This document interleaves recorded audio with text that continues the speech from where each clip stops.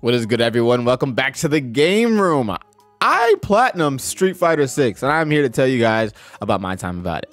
So with Street Fighter 6, I have a total of like 500 something hours in that game.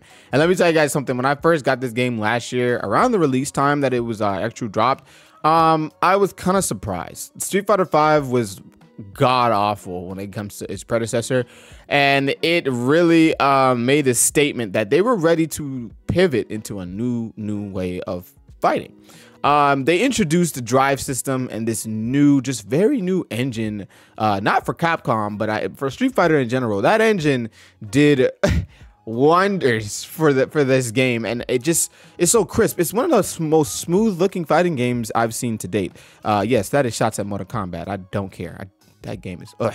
Anyways, when it comes to Street Fighter 6 though, I had a pleasure platinum this game. Again, 500 hours. I didn't platinum it in one go. I don't really platinum my games like when I first get them. I kind of wait months and months, even a year before I start platinum games just because of the simple fact I probably just beat the game first get the general consensus of the game, have my fun with the game, of course, but don't really focus on the trophies unless I get some. And then I kind of play other games, and then when I'm ready and when I'm done, and I feel like there's this quote unquote no games to play, I kind of challenge myself with that. Whenever I say there's quote unquote no games to play or I have no games to play, I go back and I think, hmm, did you really play those games? Did you really platinum those games? Or are you just saying you have no games to play because you're, you know, you don't want to play those games anymore?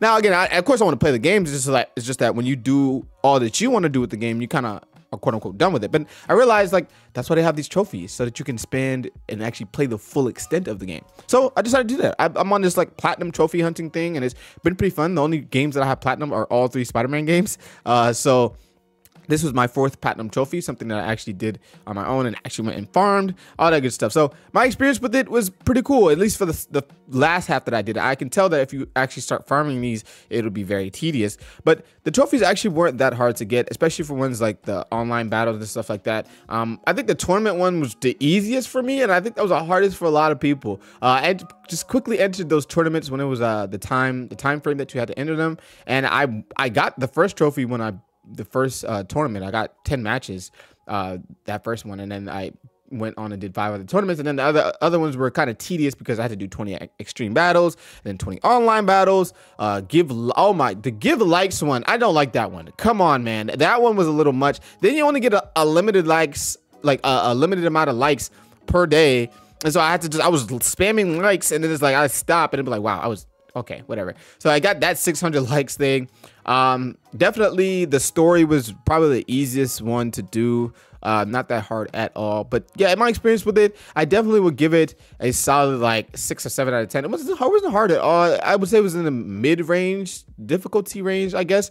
Uh, just wasn't just more tedious than anything. And generally, if you're playing Street Fighter Six and you just play the game, you you're you're you'll get those trophies easy. It's really just a play the game type thing. Uh, because uh, most of the trophies that they had, I literally just I never did on extreme battles, and I never did um the challenge battles or the online the old games ones. So literally i was just doing them for the first time and i was getting the trophies because i was doing them for the first time and you know i wasn't retrying it. So i don't know street fighter 6 again again that the trophy part is not not the game. The game to me is a 10 out of 10 if you want a, a street fighter game or you want a fighting game in general to get into to kind of just um catch your bearings. Not try to not trying to do too much with the fighting game because I would say MK and Tekken are a little bit more not advanced, but just a little bit more, uh, a little bit more competitive, in my opinion. Street Fighter Six is definitely competitive. Have you seen the tournaments?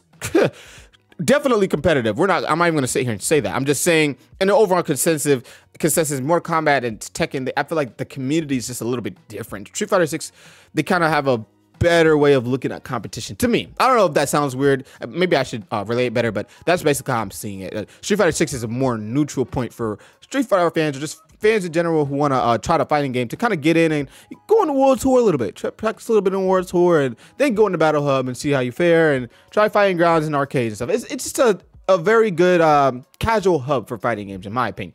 MK and all this stuff to kind of get into it is more lore for MK, and then it's like Tekken is it really is more technical. You know, I I reckon new players take your time with those two games. Um, but Street Fighter Six, get in there, try out try out things and mess up.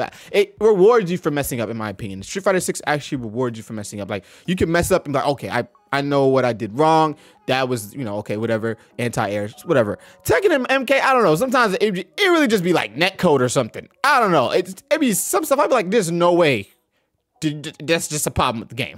anyway, I didn't do this to really gripe about other games, but I do want to kind of compare because the fighting game uh, universe is very uh, new right now. It's in this state where we can't really, nobody's really pinpointing the top dog. Um, and I'm saying that as just a biased Street Fighter fan right now, but nobody really has pinpointed the top dog. I, I, people have a, a general consensus that it might be Street Fighter 6, but there's still big communities around MK and there's still huge communities around Tekken. I think this is one of them ages where it's like really a preference thing when it comes to fighting games now. It's like, okay, if you really prefer this, just go with this. If you prefer this, go to that.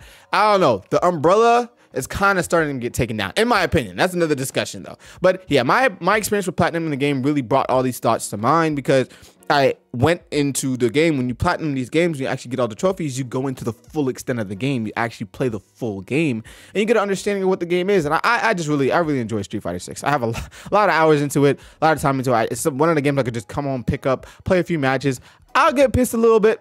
Sometimes it pisses me off, but it's one of them things that I always learn. I always get better at it. So I really appreciate my time with Street Fighter 6 and I appreciate platinuming this game. Let me know what you guys' experience is with platinuming this game, all that good stuff. Leave a like on this video, subscribe if you're new. And I'll see you next time on the game room.